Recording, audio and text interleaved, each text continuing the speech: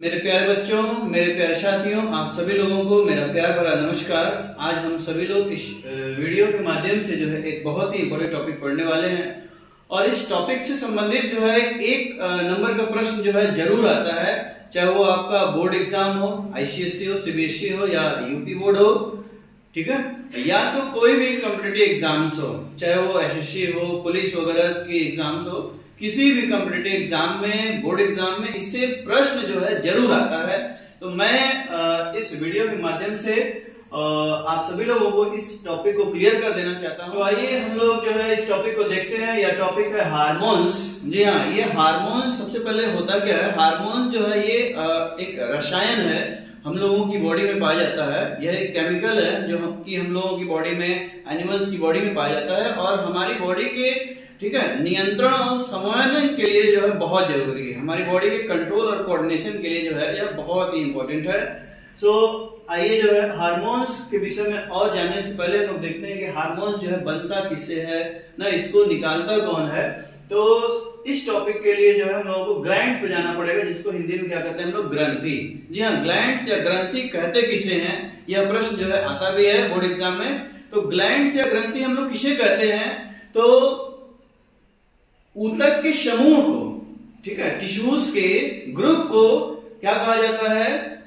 जी हाँ ग्रंथि कहा जाता है ग्लैंड कहा जाता है। इस तरह से ऊतक का समूह अगर आ, किसी मटेरियल को किसी सबस्टेंसेस को किसी पदार्थ को ना रिलीज़ कर रहा है तो उसको हम लोग ग्लैंड कहते हैं। और आप लोगों को पता होना चाहिए कि ग्लैंड जो है मुख्यतः ग्रंथि मुख्यतः दो प्रकार के होते हैं एंडोक्राइन ग्लैंड एक्सोक्राइन ग्लैंड जी हाँ ये आपका हो गया अंतस्रावी ग्रंथि और इसको बोलेंगे बाह्य श्रावी ग्रंथि बोलते हैं हम लोग। तो कब हम ग्रंथि को जो है एंडोक्राइन ग्लैंड और एक्सोक्राइन ग्लैंड बोलेंगे? जी हाँ ये प्रश्न बनता है आपका।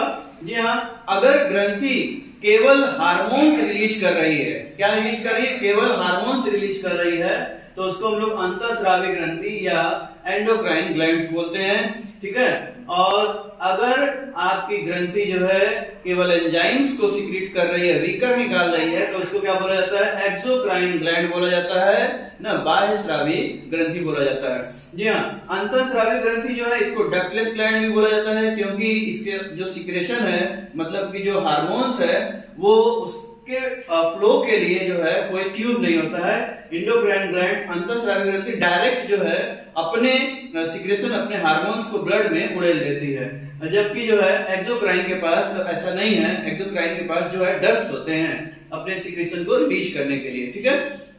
और रह गई यहाँ पे एक छोटी सी बात कि एक क्वेश्चन बहुत ज़बरदस्त आता है, ठीक है? और वो क्वेश्चन जो है इस टॉपिक से है, मिश्रित ग्रंथि मिक्स ग्लैंड किसे कहते हैं? जी हाँ तो देखा जाए तो मिक्स ग्लैंड जो है, ठीक है, हमारे शरीर में एक ग्लैंड है, उसको बोलते हैं मिक्स ग्लैंड जिसको बोलते हैं पेंक्रियाज जी है, अग्नाशय। अग्नाशय ने पेंक्रियाज ने जो है, ना, देखा जाए तो बहुत बड़ी तपस्या की, कह लीजिए कि ब्रह्मा जी का खूब तपस्या किया और इसको वरदान मिला कि जाओ, तुम हार्मोन्स भी रिलीज़ करोगे और तुम एंजाइम्स भी रिलीज़ करोगे। जी हाँ तो जो ग्रंथि हार्मोन और एंजाइम दोनों रिलीज़ करती है, उसको बोलते हैं मिश्रित ग्रंथि, मिक्स्ड ग्लैंड बोलते हैं, जो कि पेंक्रियाज है। ठीक है, ये आप पेंक्रियाज को देख सकते हैं। तो इस तरह से आप, मैं आशा कर रहा हूँ कि समझ चुके होंगे। जी हाँ तो एंडोक्राइन ग्लैंड क्या सिक्रेट करता है? हार्मोन्स। ठीक है? और इसी हार्मोन्स के बारे में हम लोगों को जानना है एंडोक्राइन ग्लैंड के बारे में जानना है, अंतस्रावी ग्रंथि के बारे में जानना है, ठीक है? आइए हम लोग जो है एक चित्र के माध्यम से एक महिला का चित्र है, और इस माध्यम से हम लोग जो है देखेंगे सबसे पहले कि जो अंतस्रावी ग्रंथि है, जो हार्मोन्स रिलीज़ करती है, वो है कहा? जी हाँ। तो यहाँ पे आप देख सकते हैं कि हाइपोथैलमस एक अंतस्रावी ग्रंथि है, ठीक है? ये दूसरी है पेनियल ग्रंथि फिर आप इधर देख सकते हैं, ये पिट्यूटरी ग्लैंड है, पीयूष ग्रंथि जिसको मास्टर ग्रंथि कहते हैं, ठीक है? तो इसका लोकेशन कहाँ है? ये है। हाइपोथैलेमस का लोकेशन क्या है? ये है। और पेनियल ग्लैंड का लोकेशन क्या है? ये है। मतलब ये तीनों ग्रंथियाँ जो है, मानव के मस्तिष्क में पाई जाती है, ठीक है? आइए नेक्स्ट देखते हैं थायराइड ग्रंथि, जिसको हम लोग क्या कहते हैं? अवटु ग्रंथि। जी हाँ अवटु ग्रंथि हम लोगों के गले में जो है, जो ट्रैकिया है, उससे लिपटी होती है। गले में इसका लोकेशन है। ये यक्ष आकार की होती है अवटु ग्रंथि। और देखा जाए तो इसी में जो है, इसी पे जो है, पीछे की साइड में ये एक जोड़ी इधर एक जोड़ी इधर ये परा ऑटो ग्रंथि होती है, जिसको हम लोग कहते हैं पैराथायराइड ग्लैंड फिर आगे देखते हैं, ये आपकी जो है थाइमस ग्रंथि है, ठीक है? ये सीने वाले भाग पे जो है, ये थाइमस ग्रंथि पाई जा रही है. और फिर हम लोग जो है, आते हैं थोरेसिक कैविटी के नीचे, थोड़ा सा आते हैं, पेट वाले भाग में आते हैं एब्डोमिनल कैविटी में. यहाँ पे आप देख सकते हैं कि जो स्टमक होता है स्टमक के ठीक नीचे, ना, जो अमाशय उसके नीचे जो है अग्नाशय है पेंक्रियास और उसके बाद दो किडनी होती है एब्डोमिनल कैविटी में, किडनी के ऊपर जो है, ये अधिवृक्त ग्रंथि है। दोनों किडनी के ऊपर टोपी जैसी जो संरचना है, इसको बोलते हैं एडिकल ग्लैंड अधिवृक्त ग्रंथि। उसके बाद ओबीसी बात है कि ये महिला है तो इसमें जो है, मादा जनन तंत्र है। मादा जनन तंत्र में आप पढ़े होंगे कि अंडाशय होते हैं, उसके पास एक जोड़ी। ये अंडाशय ना मादा जनन तंत्र के मुख्य अंग तो है ही। साथ में हार्मोन्स भी रिलीज़ करते हैं, इसलिए ये अधिवृत ग्रंथि भी है। अगर ये जो है मेल की बॉडी होती तो इस यहीं पे क्या होता? मादा जनन तंत्र के जगह पे नर जनन तंत्र और नर जनन तंत्र का जो मुख्य अंग है, वो क्या है? वृषण है टेस्टिस है। तो यहाँ पे टेस्टिस हो जाता है। ठीक है? तो अंतर केवल इतना ही है। तो हमने जो है एक मादा का जो है, एक फीमेल का जो है बॉडी स्ट्रक्चर बना दिया, ठीक है? और यहाँ पे अंडाशय हो गया, और ये जो मेल का है, पुरुष का है, ना टेस्टिस जो है, जो स्पर्म शुक्राणु बनाता है, साथ में क्या बनाता है? ये रिलीज़ करता है मेल हार्मोन टेस्टोस्टेरोन इसलिए ये भी आपका क्या है? ना, ये भी आपका अधिक ग्रंथि है। तो मेरे प्यारे साथियों ना, मैं आशा कर रहा हूँ कि आप सभी लोगों ने जो है इस चित्र के माध्यम से लोकेशन देख लिया होगा और बारी बारी से अब हम लोग जो है ना, ये जो अधिकृत ग्रंथियाँ हैं, इनके हार्मोन्स, कौन से हार्मोन्स हैं? ठीक है, उनके क्या कार्य हैं? उनकी कमी से क्या बीमारी होती है और उनकी अधिकता से क्या बीमारी होती है, इसको जानेंगे। आप सभी लोग जानते हैं कि हार्मोन्स हमारी बॉडी में न उचित मात्रा में होना चाहिए, न तो अधिकता होनी चाहिए, न तो इसकी कमी होनी चाहिए। दोनों अवस्थाओं में जो है बीमारी होती है, हमारी बॉडी का कंट्रोल और जो कोऑर्डिनेशन है वो गड़बड़ हो जाता है। तो शुरुआत हम लोग करते हैं जो है हाइपोथैलेमस से। जी हाँ हाइपोथैलेमस जो कि ब्रेन में इसका लोकेशन है, इसका कार्य है कि control pituitary secretion body temperature and centre of hunger and thirst तो मेरे प्यारे बच्चों, सभी लोग आप लोग समझ रहे हैं? ना यूपी बोर्ड वाले भी बच्चे समझ रहे हैं, क्योंकि ये दोनों भाषाओं में बताया जा रहा है। जी हाइपोथैलेमस जो है, ये जो पिट्यूटरी ग्रंथि है, जो पीयूष ग्रंथि है ना, ये जो भी हार्मोन्स रिलीज़ कर रही है, उस पर जो है इसका कंट्रोल है हाइपोथैलेमस का। इस तरह से मतलब ये मास्टर ग्रंथि है, ये जो है ना ये मास्टर ग्रंथि है तो ये हेड मास्टर ग्रंथि हो गई क्योंकि इसके ना सिक्रेशन पर इस, ये कितना हार्मोन रिलीज़ करेगी कब रिलीज़ करेगी कब नहीं उस पर कंट्रोल किसका है? हाइपोथैलेमस का। नेक्स्ट है कि ये बॉडी टेम्परेचर ये हमारे बॉडी टेम्परेचर को भी कंट्रोल करती है और एक बहुत ही इंपॉर्टेंट क्वेश्चन है ना जो कि आपका centre of hunger and thirst मतलब भूख और प्यास का जो केंद्र है वो हाइपोथैलेमस है। ठीक है? आगे बढ़ते हैं हम लोग जो है और देखते हैं पीनियल ग्लैंड पीनियल ग्लैंड जो है, ना, ये कौन सा हार्मोन रिलीज़ करती है? जी हाँ ये मिलेटोनिन रिलीज़ करती है, जिससे बॉडी का पिगमेंटेशन होता है। क्या रिलीज़ करती है? मिलेटोनिन जिससे बॉडी का पिगमेंटेशन हमारे स्किन का जो है पिगमेंटेशन होता है। ठीक है? अब आइए हम लोग जो है ब्रेन मस्तिष्क में पाई जाने वाली जो सबसे इंपॉर्टेंट ग्रंथि है, ना, उसको पढ़ते हैं। पीयूष ग्रंथि। जी हाँ पिचुट्री ग्रंथि जिसको कहा जाता है, मास्टर ग्रंथि। क्यों इसको मास्टर ग्रंथि, पीयूष ग्रंथि को बोला जाता है? क्यों? कि ये ग्रंथि, बाकी जो ग्रंथियाँ हैं, हमारी बॉडी में न उनके जो है सिक्रेशन को कंट्रोल करता है। मतलब उनका जो भी वो जो भी हार्मोन्स निकाल रहे हैं, उस पर नियंत्रण किसका है? पीयूष ग्रंथि का, इसीलिए इसको मास्टर ग्रंथि कहते हैं। ना, पिछले साल भी जो है, और कई कॉम्पिटेटिव एग्ज़ाम्स में जो है, आता है कि मास्टर ग्रंथि किसे कहते हैं? चार ऑप्शन कहते हैं, जिसमें से एक ऑप्शन पीयूष ग्रंथि भी होता है, जो की राइट आंसर होता है। ठीक है? सो so, इस तरह से आइए हम लोग जो है पीयूष ग्रंथि को मास्टर ग्रंथि क्यों कहते हैं इसको हम लोगों ने देखा और अब हम लोग देखेंगे कि पिट्यूटरी ग्लैंड पीयूष ग्रंथि मास्टर ग्रंथि के हार्मोन्स क्या क्या हैं उनके काम क्या क्या हैं ठीक है? तो जो पीयूष ग्रंथि है सबसे पहले इसको दो भागों में बांट दिया जाता है एडिनो हाइपोफासिस ठीक है? और न्यूरो हाइपोफाइसिस मेरे प्यारे बच्चों, ना, मैंने इसको इंग्लिश में लिखा है, हिंदी में भी लिखना है तो एडिनो हाइपोफाइसिस ही लिखेंगे तो क्या मतलब है? एडिनो हाइपोफाइसिस आप स्पेलिंग भी जान चुके हैं। एडिनो हाइपोफाइसिस को एंटीरियर पिट्यूटरी कहा जाता है, ठीक है? पिट्यूटरी ग्लैंड का ये एंटीरियर भाग है, ठीक है? ऊपर वाला भाग है, और जबकि न्यूरो हाइपोफाइसिस क्या है? पोस्टीरियर पिट्यूटरी है, नीचे वाला भाग है। दोनों भाग जो है हार्मोन्स को रिलीज़ करते हैं। आइए देखते हैं एंटीरियर पिट्यूटरी से कौन कौन से हार्मोन्स रिलीज़ होते हैं? बहुत सारे हार्मोन्स हैं। जीएच ग्रोथ हार्मोन ठीक है? P R L prolactin hormone T S H thyroid stimulating hormone ठीक है? ए सी टी एच ठीक है? एल एच रिकग्नाइजिंग हार्मोन और F S H follicle stimulating hormones ठीक है? तो ये सारे हार्मोन्स जो है ना, आपके पीयूष ग्रंथि से स्रावित होते हैं, उसके जो है, ठीक है? उसके इंटीरियर पिट्यूटरी से स्रावित होते हैं। जबकि ऑक्सीटोसिन और वेसोप्रेसिन जो है, ये मास्टर ग्रंथि के न्यूरो मतलब पोस्टीरियर पिट्यूटरी से रिलीज़ होते हैं। इन सारे हार्मोन्स का क्या कार्य है? आइए देखा जाए। तो जो ग्रोथ हार्मोन है, नाम से ये ग्रोथ हार्मोन ठीक है? इससे हमारे बॉडी का जो है ग्रोथ रेगुलेट होता है। हमारी बॉडी के जो ऑर्गन्स हैं, उनका जो है ग्रोथ रेगुलेट होता है। तो देखा जाए तो हमारे बॉडी में, ठीक है, अगर ग्रोथ हार्मोन की मात्रा जो है हद से ज़्यादा हो गई लिमिट से ज़्यादा हो गई तो बॉडी का ग्रोथ भी बहुत ज़्यादा हो जाएगा। बॉडी भीम गायब हो जाएगा, ना? और ऐसी अवस्था को हम लोग कहते हैं जैंटिज्म। ठीक है? क्या कहते हैं? जैंटिज्म बोला जाता है, ना? भीम काय जैसे तो ग्रेट खली का बॉडी हो गया। ठीक है? अगर इसकी कमी हो गई, ना तो ग्रोथ रुक जाएगा, अंगों का ग्रोथ रुक जाएगा, और फाइनली जो है, ना, वह क्या हो जाएगा? वह बीमारी का शिकार हो जाएगा, जिसको कहते हैं डार्पिज्म बौना हो जाएगा। ठीक है? प्रोलैक्टिन का काम है प्रोलैक्टिन का काम जो होता है, ये मदर्स में जो है, ना, ठीक काम है। और क्या काम है, ये लैक्टेशन को जो है प्रमोट करता है स्टिमुलेट करता है। लैक्टेशन माँ का, मानसिक के जो है, ना ब्रिस्ट से जो है लैक्टेशन को प्रमोट करता है आफ्टर डिलीवरी ठीक है? S sorry T S H thyroid stimulating hormone ये हार्मोन रिलीज़ होता है। और जा करके जो है थायराइड को थायराइड ग्रंथि को ना, थायराइड ग्रंथि को बोलता है भाई तुम हार्मोन्स को रिलीज़ करो, जो भी हार्मोन रिलीज़ कर रहा है उसको।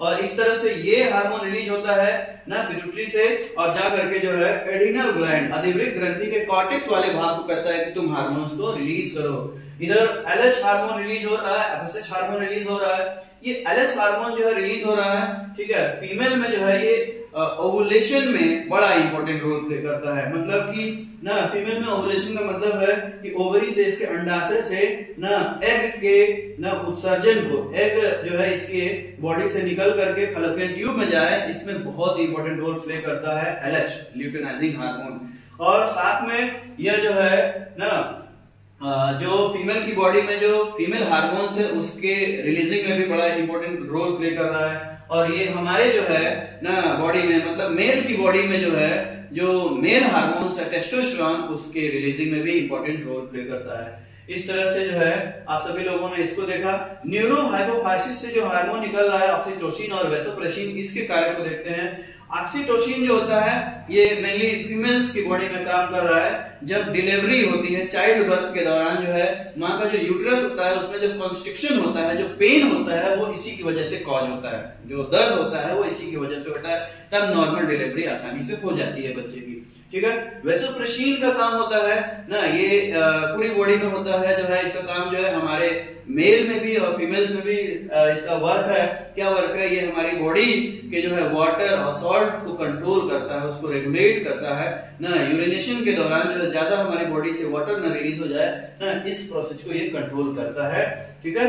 और इस तरह से जो है, अब हम लोगों ने जो है पीयूष ग्रंथि के कार्य को देख लिया, उसके हार्मोन्स के कार्य को देख लिया। अब हम लोग जो है चलेंगे जो है, ना, गले के पास जो है, जो थायराइड ग्रंथि है ऑप्टो ग्रंथि इसका आकार आप लोग देख रहे हैं यक्ष आकार का है और इससे जो हार्मोन निकलता है, वो है थायरोक्सिन, जिसको हम लोग टी फोर हार्मोन कहते हैं। ना, ये थायरोक्सिन हार्मोन जो होता है, ये मेनली आयोडीन से बनता है, इसलिए कहा जाता है कि हमारा जो भोजन है, हमारा आहार है ठीक है? उसमें आयोडीन प्रॉपर होना चाहिए, हमें आयोडीन युक्त नमक को खाना चाहिए।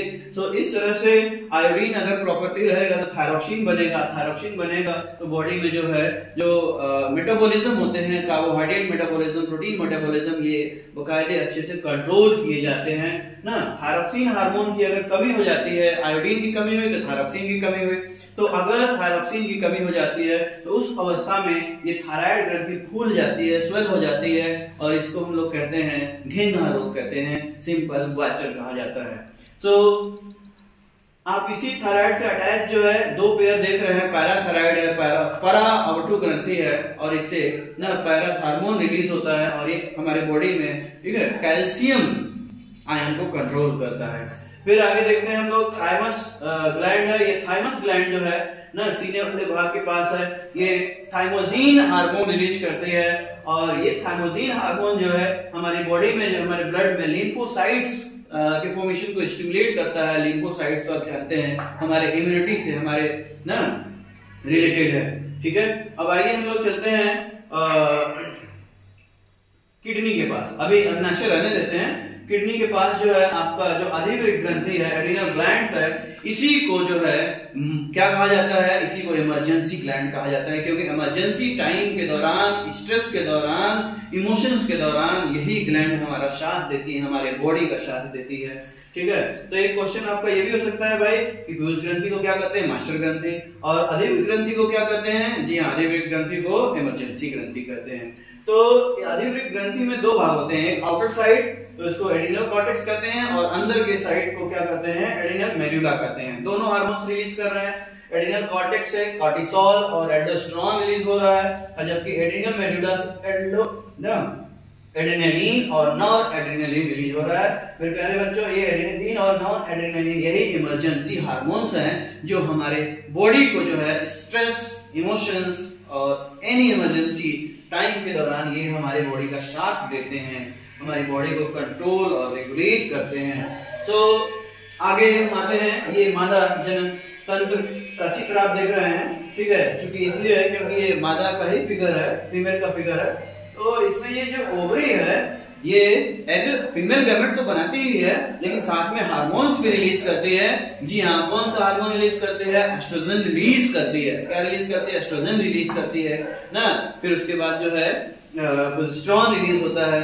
तो आप लोगों ने जो है इसको देख लिया। इसका काम जो है, ना फीमेल हार्मोन का काम जो होगा, वो फीमेल के अंगों को जो है, ना विकसित करना होगा। जो फीमेल के सेकेंडरी सेक्सुअल कैरेक्टर है, उसको विकसित करना होता है। और इस तरह से हम लोग देखेंगे कि अगर ये मेल की बॉडी होती तो ज़ाहिर सी बात है कि नर जनन तंत्र होता और विषण होता, जिसको क्या कहते हैं, हम लोग टेस्टिस कहते हैं, और इससे न, जो शुक्राणु तो बनता ही है, साथ में मेल गैमेट और साथ में मेल हार्मोन रिलीज़ होता है, जिसको हम लोग क्या कहते हैं टेस्टोस्टेरोन कहते हैं। टेस्टोस्टेरोन जो है, ना मेल कैरेक्टर जो सेक्सुअल कैरेक्टर होते हैं, उसके लिए जिम्मेदार होता है। और अब मेरे प्यारे साथियों, हम लोग लास्ट में जो है, ना, उस तपस्वी के बारे में बात करेंगे, जो कि ब्रह्मा जी का काफ़ी तपस्या किया, जिससे ना उसको वरदान मिला कि भाई तुम हार्मोन्स भी रिलीज़ करो और तुम एंजाइम्स भी रिलीज़ करो। जी हाँ आप डाइजेस्टिव सिस्टम डाइजेशन के दौरान इसके एंजाइम्स के बारे में पढ़े ही होंगे, लेकिन अब हम लोग जो है इस दौरान जो है, इसके हार्मोन्स के बारे में पढ़ते हैं, जो पेंक्रियाज है, ये पेंक्रियाज जो है ना आइसोलेट ऑफ़ लैंगर से बना होता है और इसमें तीन प्रकार की कोशिकाएँ होती हैं। ना अल्फ़ा सेल्स बीटा सेल्स और डेल्टा सेल्स होती हैं। अल्फ़ा सेल से जो है ग्लूकेगॉन रिलीज़ होता है बीटा सेल से इंसुलिन रिलीज़ होता है और आपके डेल्टा सेल से जो है गैस्ट्रीन रिलीज़ होता है। जी हाँ हम लोग जो इंपॉर्टेंट क्वेश्चन है, उसको ध्यान देते हैं। ये इंसुलिन जो हार्मोन होता है, मेरे प्यारे साथियों, ये ब्लड में हमारे शुगर लेवल को कंट्रोल करता है। अगर शुगर है ना? अगर जो है ग्लूकोज ज़्यादा हो जाता है तो ये क्या करता है? वाटर इनसोलेबल फॉर्म में उसको कन्वर्ट कर देता है जिसको हम लोग ग्लाइकोजेन कहते हैं। ठीक है? तो इस तरह से जो है ये हमें शुगर से हमें डायबिटीज़ से जो है बचाता है। लेकिन अगर मान लीजिए जो है हमारी बॉडी में शुगर लेवल कम हो गया तो उस दौरान जो ग्लूकेगॉन है ये ग्लाइकोजन को वापस ग्लूकोज में चेंज कर देता है। सो so, मेरे प्यारे साथियों, मेरे प्यारे बच्चों, मैं आशा करता हूँ कि आप लोगों ने जो है इस वीडियो को, ना, इस टॉपिक को बहुत अच्छे से देखा होगा और हमारे इस चैनल पे जो है नए व्यूवर्स हैं, हमारे चैनल को सब्सक्राइब करें और लाइक करें, वीडियो को शेयर भी करें। बहुत बहुत धन्यवाद।